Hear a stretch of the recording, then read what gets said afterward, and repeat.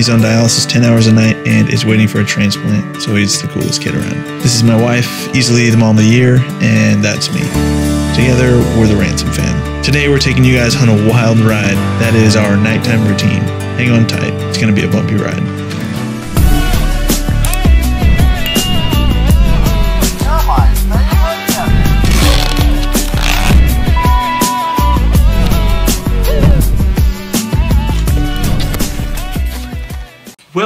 To our nighttime routine. This is, what is it, Wednesday? Wednesday and day 130. Are you sure? No. You gotta go check. Right back. 133. Okay, day 133 of, sorry, tonight is day 133 of dialysis For our kiddo, not us. For our one year old son. But we do it.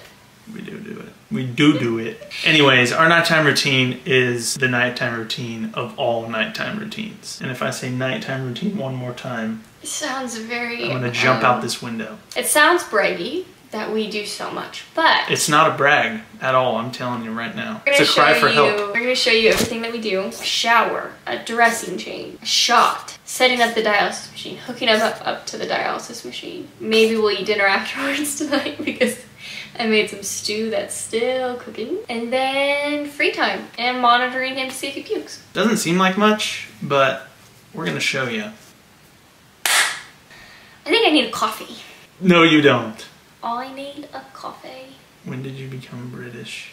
I've always been my sweet. See you on the other side, folks. In order to stay sane, we kind of divide and conquer. I usually do the blood pressure just because it's a highly skilled task that, uh...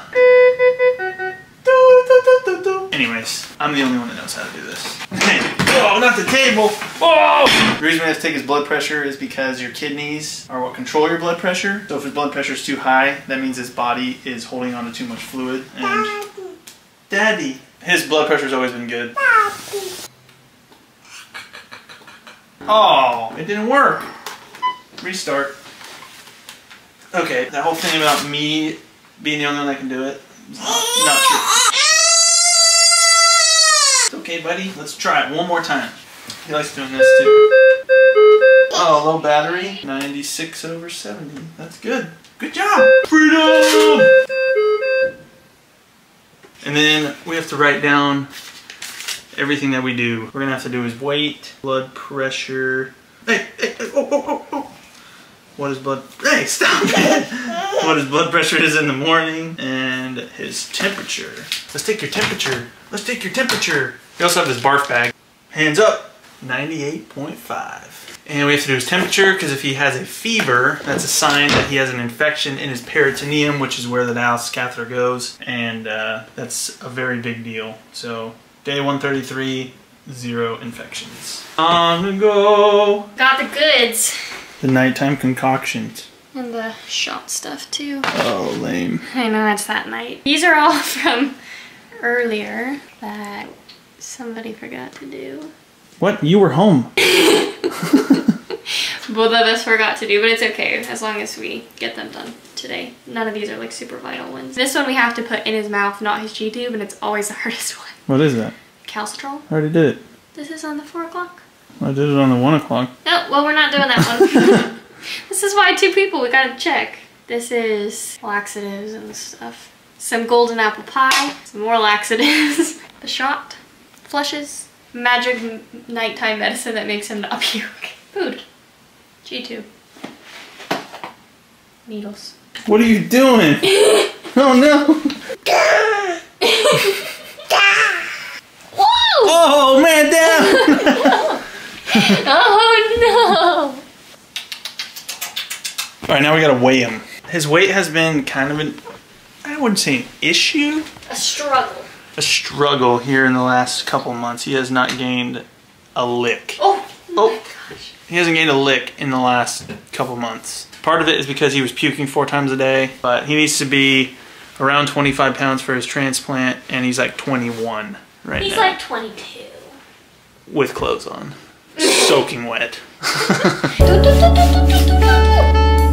Taylor's gonna set up this thing we call the cycler. And it looks like a printer. Oh, I know, it literally does. What do I tell you we should name our next daughter? Claudia. And then the son would be Baxter. I don't like either of those names. No. No offense if those are your names. It's just not it's just not for us, you know. It says his name too. That's Oh yeah, check that out. Okay, I'm gonna go put my hair up, wash my hands, grab all our supplies. After Taylor puts her hair up, she's got to grab all the supplies we need that we store in the weight room, which goes to show how often we work out. No! Sullivan! Ah! So gross. While Taylor's doing that, I guess I can set up the dressing change table. Why don't you clean the bed? What? That. How am I supposed to clean that? Take it off. Oh. Okay, while Taylor does the diaper, I will clean the bed. I'm gonna be honest with you guys, this is probably the first time I've ever made this bed. Why are there so many layers? Someone needs to make a blanket that's poop puke proof that you can just hose off or something. Dude, your toenails are gross. Da da da da da da!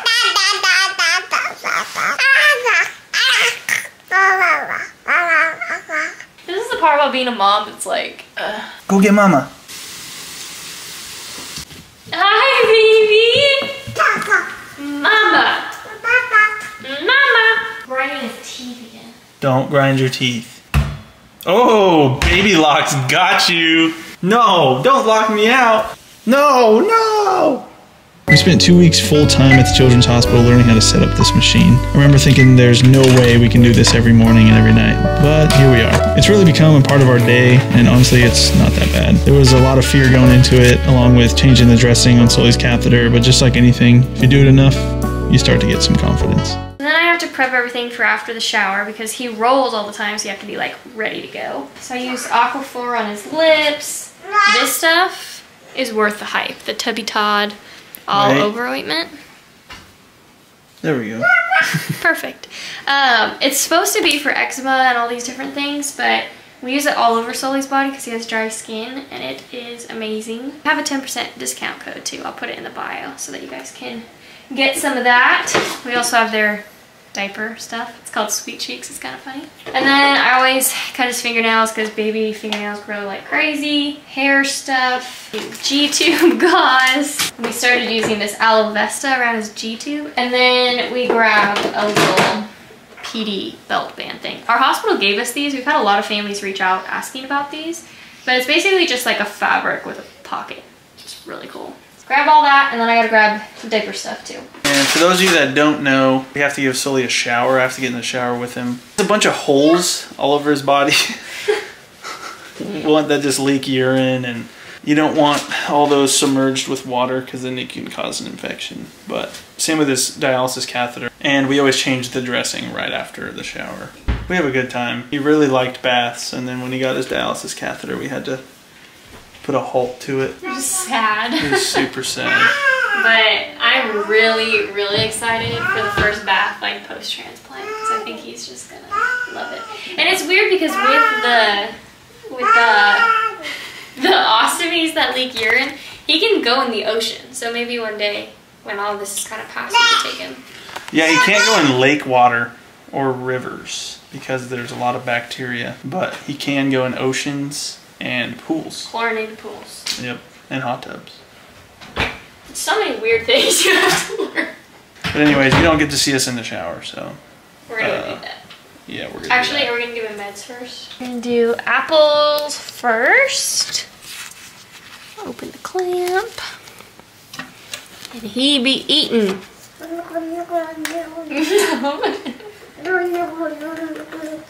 Take it out and get you in the shower.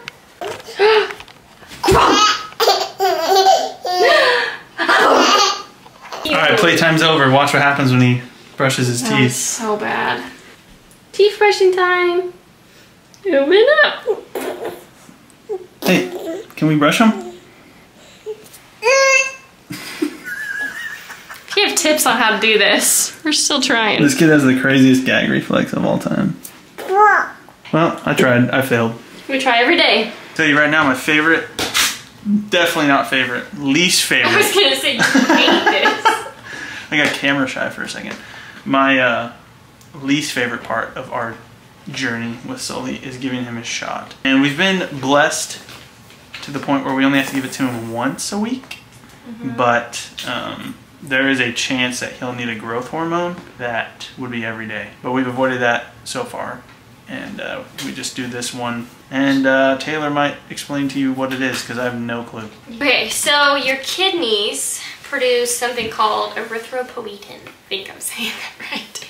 When they fail, they don't produce that, and that triggers red blood cell production in your body. So most people that have kidney disease are anemic and end up taking the shot.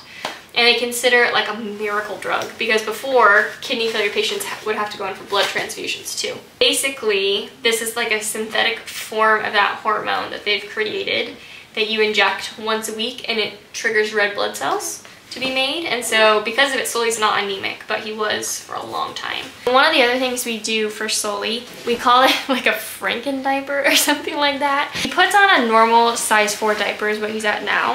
And then because he has like a hole where his belly button is and then one to the right of that as well, that way I guess, we had to create this contraption. We found from some Facebook groups about vesicostomies, poise pads. These things are awesome. Normally they're just for like incontinence. But we put, so open it up, and we put two in every single of the outside the big diaper. And so we just kind of stick it on the rim so that it creates like a nice pad across where he will be leaking all night. And since doing this, even though he pees a ton, we can have him not leak through even overnight. So we do it during the day too, but it's really important overnight. So I'm gonna set that up now too. I feel like we deserve like an honorary nursing degree or something. At least like a dialysis certificate. Yeah, what is that? I don't know, like you could go work in a dialysis center or something. Yeah, but I want to be at least a nurse so I can make some money. I was telling you, I want to go back to school and become a labor and delivery nurse. I mean, you can do whatever you want. Or you can do that in your latter years. Yeah, when I'm old, I could be like the grandma in labor and delivery. One that like gives them the like warm tea or something. The warm. Do they do that? I don't think so. Administering shots is definitely not a skill I thought I would ever have. Billy's really sweet though because this was like the shot was the one thing when I found out about like I was heartbroken, and so he really stepped up big time for me and like he does it every single time because there's something about like my mama heart that just can't. Like, I, that's so hard for me. Yeah, it's so easy for me. Just kidding. You gotta make sacrifices for your bride. Still likes you better than me anyway. So He forgives. He's a quick forgiver. That's not so bad, huh? That's not so bad. That's not so bad, huh? you're so brave. See, that wasn't bad, huh? You did it. You did it! Woo! You did it. When we first started Sully's dressing changes, he would scream like a madman. But now he's pretty used to it and actually falls asleep most times. And we need to go eat dinner. We're having stew. I don't even like stew. I love stew. Well, really, I like sourdough bread and stew, but we don't even have bread. While Sully eats, I set up the table with all the supplies we need, and most of the supplies are used to maintain a sterile catheter. Check this out.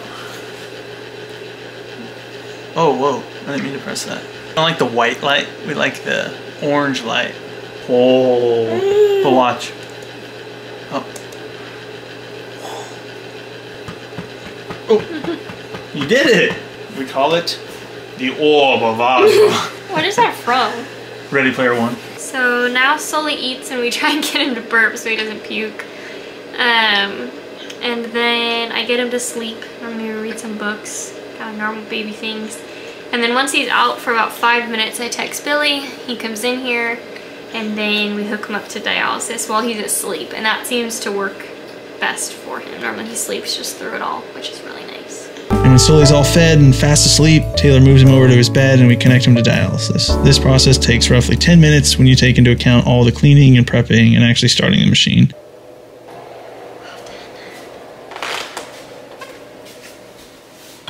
At this point, um, why are you whispering? Because he's right there.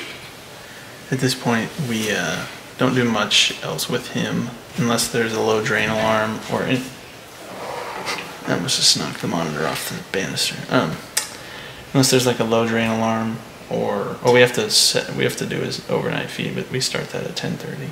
Yep. And I'd say eight nights out of ten there's a low drain alarm. Or two. They're very frequent, especially the first two cycles. So that's why we try and get this started early because then we're like awake when those happen. Um, but tonight we haven't had dinner yet. It's 8 o'clock, so we're gonna go eat some stew. Which I love, he hates, I guess. And we'll go from there. But that was a long haul. Proud of you.